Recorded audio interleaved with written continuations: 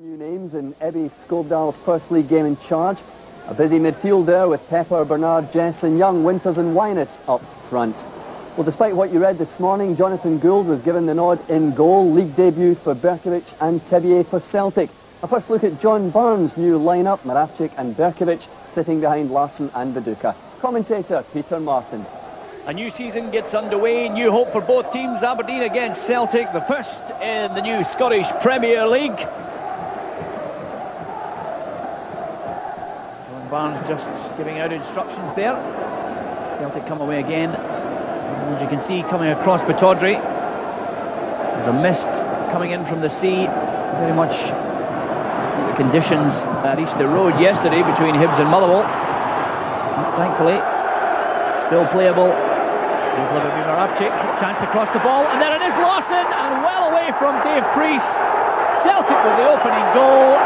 Minutes gone, Henrik Larsson, and the Aberdeen goalkeeper had no chance. A great cross from Moravcik.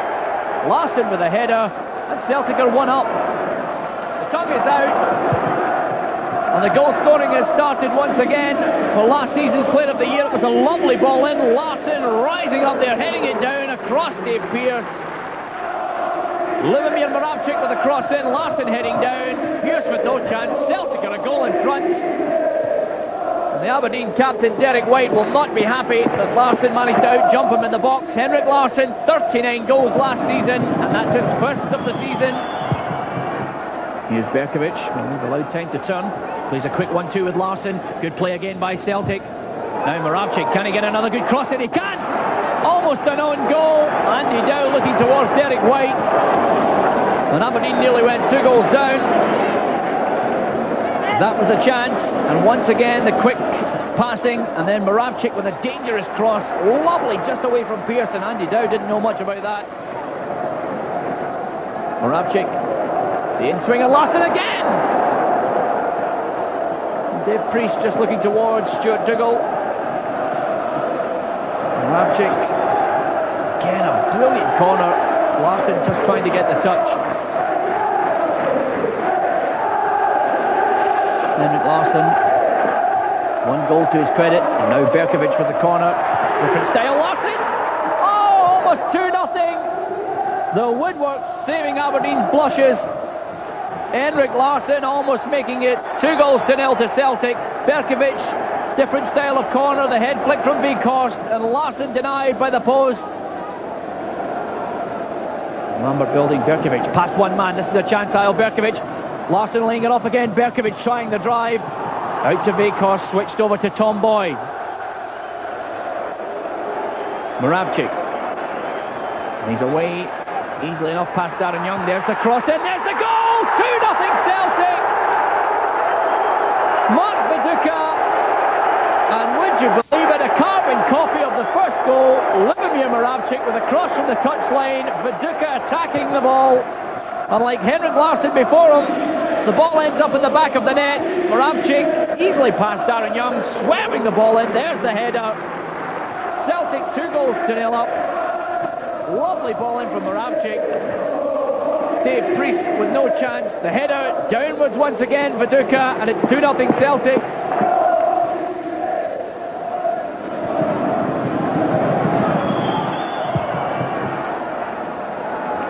Henrik Larsson and again they move it wide. Vidar Riseth. Larsson just a flick in. Berkovic, lovely play by Celtic. Looking for the one-two. Oh, this will be a great goal if it comes into him. Moravcik blocked away. Lovely passing move by Celtic. Because putting it in the danger still there. There's a chance. 3 nothing.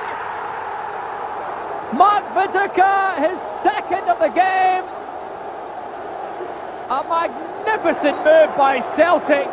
They quite literally tore Aberdeen's defence apart. There's only three minutes to go before half-time. Into the path of Viduka. Calm as you like past Dave Preece. Well, because reset, Viduka, 3-0.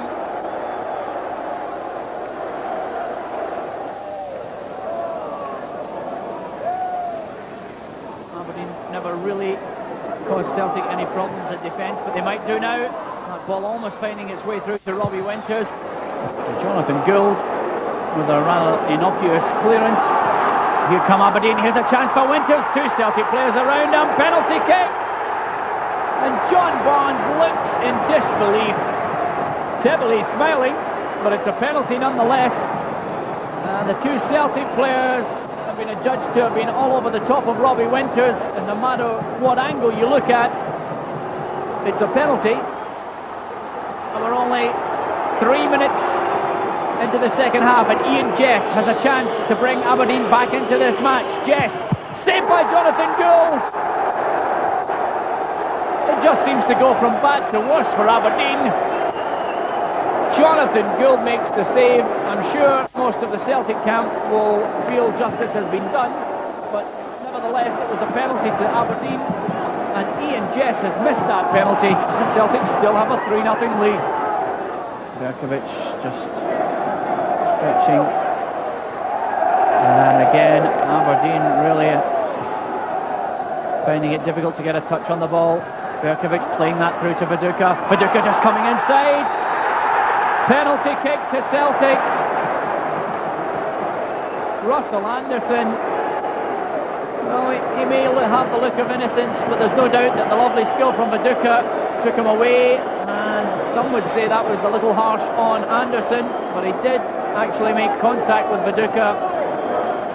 53 minutes of this match gone. Penalty kick to Celtic. Henrik Larsson. And there you have the answer. Celtic 4, Aberdeen nil. Henrik Larsson with his second of the afternoon, thanks to the efforts of Mark Viduka, who's already scored two, and a lesson on how to take a penalty kick. And we did raise the question, how many will Celtic score? We now have four.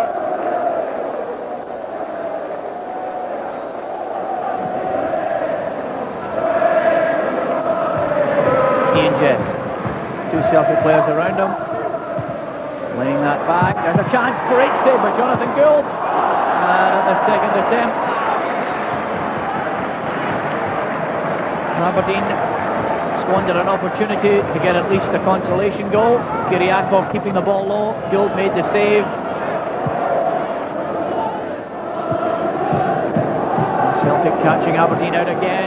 Here's a chance to break. Larsson, this will play early. Here's Mark Burchill with a chance, trying to get it onto his left foot, drives it in. Mark Burchill, well, as he often does on so many occasions, comes on as a substitute and adds a killer goal. And on that occasion, Aberdeen caught out the midfield. Celtic's quick passing, Burchill's left foot, 5-0. Aberdeen lost the ball in the midfield. Burchill really had a chance to pick his spot. And the youngster didn't disappoint. And another goal dispatched into the Aberdeen net. Jess coming away. Good play by Jess. Robbie Winters is there. So is Tom Boyd.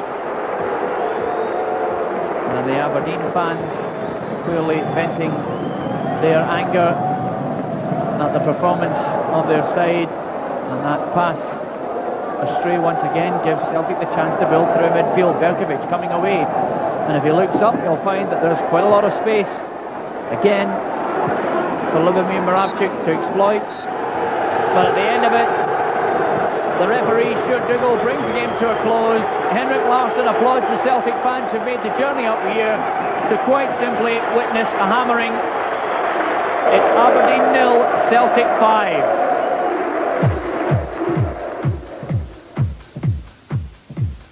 The lads did very well. Uh, I was very pleased with the second half, particularly because after going 3 0 up, you know, we could have become complacent in the way that we played, but we didn't. We still pressed forward, we still did the right things, we didn't over-elaborate, and we scored another two goals. So the pleasing thing was the performance over 90 minutes. Uh, it's a good start for, for us today. Uh, it was very important to start with win because uh, we, uh, it gives confidence to the club, confidence to the player, and it's very important and very happy.